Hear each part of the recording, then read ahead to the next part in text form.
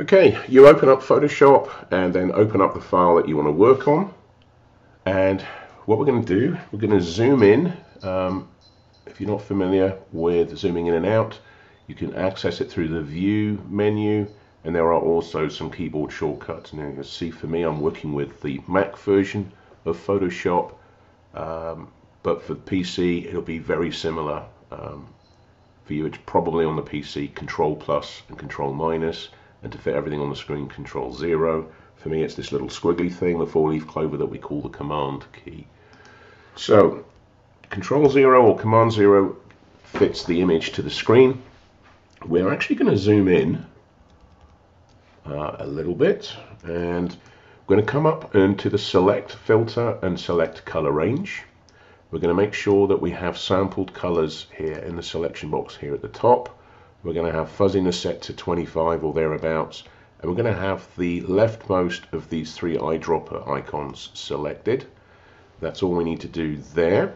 And then we bring the eyedropper over to uh, a star, click on it. You'll see this preview area here has just changed. So we've got our initial sample of colors. We now need to add to that sample. So we'll come back to this row of three eyedropper icons here and collect, sorry, and select the second one which is add to sample. We're going to come and add um, more colors uh, to the sample by clicking on a variety of stars. We might need to zoom in a bit more to help with this. And you'll see how the preview area here is showing more and more stars being selected. Technically, we're not adding, or sorry, we're not selecting stars. We're selecting pixels anywhere on the image that have the same value, the same color as what is under the eyedrop when we click the mouse button. What the fuzziness does, excuse me, is to broaden the, the color range that's picked. So if we have it down to zero, then only the colors of the pixels that we've clicked on will be selected. But if we change that fuzziness value and make it really maxed out, then kind of everything gets selected, which clearly we don't want. And what I found is somewhere around 24, 25 works fine. So that means that it's a range of colors around each of the pixel colors that we've clicked on with the eyedropper gets uh, added to our um, selection, our range of sampled colors. So we're probably about good there. We'll click on OK you won't see much has changed. If I zoom out and fit everything to the screen, you'll see we have this twinkling effect. Uh, that just shows the areas that have been selected. I'm going to zoom back in so you can see what's going on. Now you'll see here, for example, that we've got a star that's selected, but not the whole of the star is selected. So we need to actually modify the selection. So we come up to the select menu, choose modify, expand, and then we choose a range of pixels or, or a number of pixels that really depends on how many pixels wide and high the actual image is. So I've picked 10 here, and that's clearly too much. We want this sort of uh, moving zigzag or moving dots around each star to be much closer to the edge of the star. So let's undo what we had just done. Let's go back to select, modify, expand let's try 5. That's better, but not good enough. So let's undo that again and come back and do select, modify, expand. I'm going to go with 3 this time. There we go. That's pretty much perfect.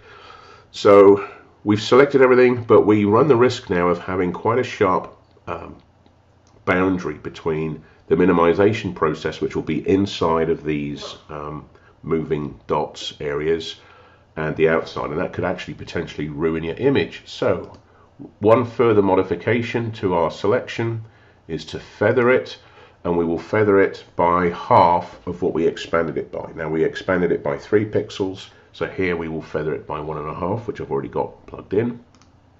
So we'll click on that. You won't have seen any difference excuse me just getting over some COVID. You won't see any difference there, um, but if we zoom back out, oh, wrong one,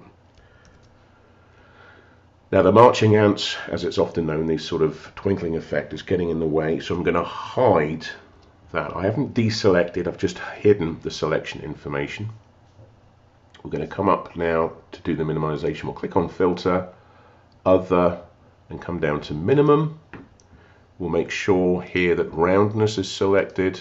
We'll make sure we have preview selected and we can change this radius thing here. That will change the extent to which the stars are knocked back. A radius of 0.2 will knock them back a tiny amount, not nil, but a tiny amount.